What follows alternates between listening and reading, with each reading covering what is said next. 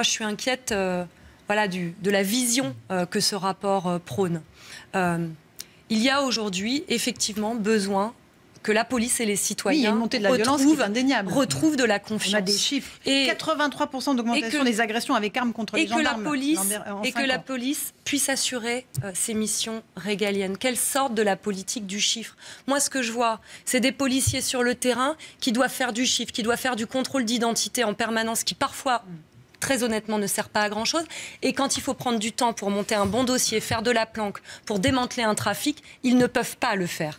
Et donc on rentre dans une escalade d'armement, une escalade de violence qui provoque à terme toujours Donc des il faut pas drames. armés Non, il faut sortir, il faut, il faut sortir de cette logique-là. Mhm. Alors, c'est plus compliqué que cette vision. Je le dis comme ça. Forcément, il y a une vision. Moi, je la juge simpliste, mais aussi très dangereuse, de dire qu'au fur et à mesure, on arme de plus en plus. La riposte, elle sera également de plus en plus. Il faut recréer de la confiance, de la respectabilité.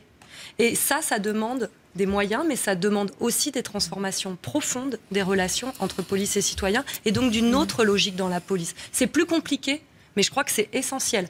Moi, cette vision qui, bien sûr, c'est pas encore le cas, mais cette vision à l'américaine.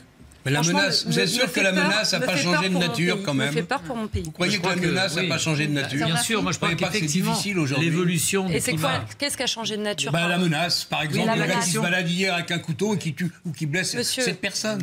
Voilà. ce, genre de justement, enfin, je suis désolée de le, dire comme ça, mais on est obligé après d'être dans des, exemples de l'absurde. Le, le CRS qui se fait tuer sur les Champs Élysées, il est armé, il se fait quand même tuer. bien sûr. Donc vous savez bien que c'est pas la seule réponse. Non, mais c'en est une. Mais non, Non, mais, mais- ça peut pas être la seule réponse. La question, c'est bien, Attendez, bien. La question qu'on